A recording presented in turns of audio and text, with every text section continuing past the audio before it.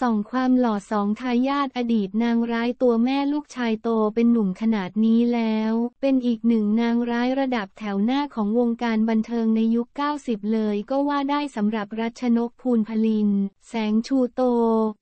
ในตอนนี้เธอพักงานในวงการบันเทิงเพื่อมาดูแลลูกชายหัวแก้วหัวแหวนทั้งสองคนที่เริ่มโอ ไปเป็นหนุ่มแล้วอย่างลูกคลื่นนชายแสงชูโตและทะเลนทัศแสงชูโต ล่าสุดในอินสตาแกรมของรัชนก เธอได้ออกมาโพสต์ภาพของลูกชายน้องทะเลลูกชายคนที่สองนานๆทีจะได้เห็นออกสื่อและลูกชายคนแรกน้องลูกคลื่นที่ตอนนี้เรียนอยู่ที่ต่างประเทศค่ะ และวันนี้ทีมงานที่นี่ .com .com ได้นำภาพของทั้งสองหนุ่มมาให้ได้รับชมกันด้วยค่ะ